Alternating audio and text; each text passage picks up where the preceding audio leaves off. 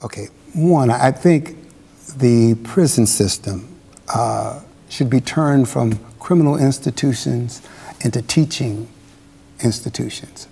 Uh, I think we need to begin to uh, implement uh, programs to be more proactive in reaching these men prior to, to release.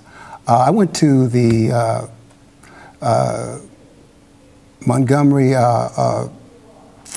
excuse me, the uh, uh, Montgomery program uh, at the Air Force Base, kind of getting, yeah. the Maxwell Air Force Base. And I, I, went there, and I and it was something amazing that I, I, they had going there. They actually had an ATM machine, a mock ATM machine set up. Uh, I don't know who designed it, and uh, they're they're in there teaching men, individuals, how to create a budget. They actually give them a paycheck and they put it in the ATM machine and they give them funny money back. Uh, they're learning all new skills. It, it's said that uh, there's an average, uh, on average, an inmate can make up to maybe 20 to 30 decisions a day. On the outside, in the free world, we make 150 to 250 decisions every day. These men haven't been able to make a decision on their own. They've been institutionalized. So what I see is programs coming in and taking a proactive approach, teaching men marketable skills, requiring that they get a GED or equivalent, uh, that they have a marketable trade. And I think the only way that can happen is bringing employers in and training these men in a trade and women in a trade. Uh, I see, uh, even when it comes to mental health, uh, teaching men uh, coming in before they, these men get out and women on uh, how to apply for Medicaid. Uh, men and women who come out, they're almost like people coming from another country. They don't have their driver's license, it has gotten lost. Birth certificates, uh, they're non-documented immigrants.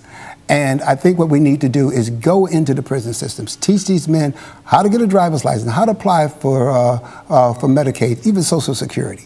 Have these things in place. I, I think that's one of the focal points because these men are coming out with mental health issues, women coming out with mental health issues, don't have housing prepared for them, don't have shelter prepared for them. These things are necessary. One guy said he went in in the wintertime, and when he left out, he went in the summer with his winter clothes. So I think we need to go in and begin to revamp the system. Go in, revamp these, uh, and I'm not saying all prison systems are like that, but some are so archaic. These men are not being rehabilitated, not prepared uh, for the new society and the things that are out there. So uh, my suggestion is to go back in and say, look, a new prison, what, what does it look like? Men being educated go in and educate these men and women on what it's like to, because they don't have a real world view after serving 10 to 20 years. Uh, you know, I work in child support court. Uh, there was an individual uh, one of the local programs at the Foundry who had just been out maybe a few weeks. And I asked, how many have child support cases? One guy raised his hand and uh, he says, I have uh, seven children by six different women. He says, uh, I owed $100,000 in child support.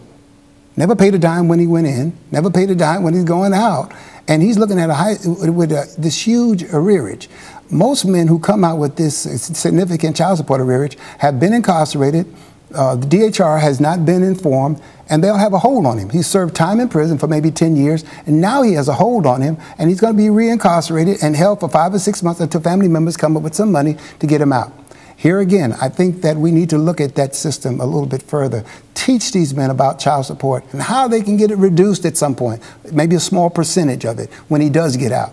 Uh, make it, prisons need to be more, or society needs to be more user friendly when it comes to uh, uh, offenders who are going into prison uh, and then coming out of prison. Um,